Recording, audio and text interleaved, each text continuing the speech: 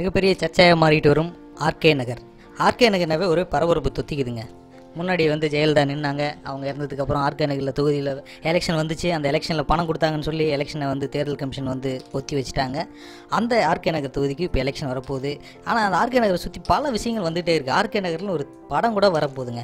அந்தளவுக்கு ஆர்கே நகர் இன்றைக்கி மக்கள் மத்தியில் பிரபலமாக இருக்குது இந்த ஆர்கே நகர் தொகுதியில் எலெக்ஷனில் நிற்கிறதுக்காக பல பேர் வந்து நூற்றி அறுபத்தி ஒரு வேட்புமனு தாக்கல் பண்ணியிருந்தாங்க. அதில் வந்து ரெண்டு முக்கியமான நபர்களுடைய வேட்புமனுக்கள் வந்து நிராகரிக்கப்பட்டிருக்கு.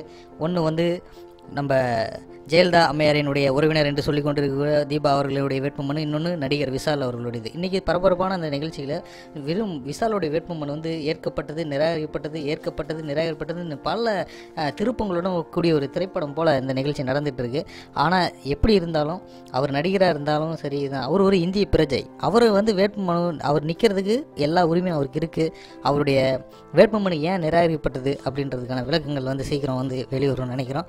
ஆனால் ஒரு இந்திய குடிமகன் யார் வேணும்னாலும் எலெக்ஷனில் நிற்கலாம் அதை தடுக்கிறதுக்கு யாருக்கும் உரிமை இல்லை. அப்படி இருக்கும்போது இவர் வேட்புமனு ஏன் நிராகப்பட்டது என்ன அப்படின்ற உண்மையை விரைவில் வெளிவரும். அதுக்கான தேர்தலுக்கு வந்து சீக்கிரம் வெளியிடுவாங்க.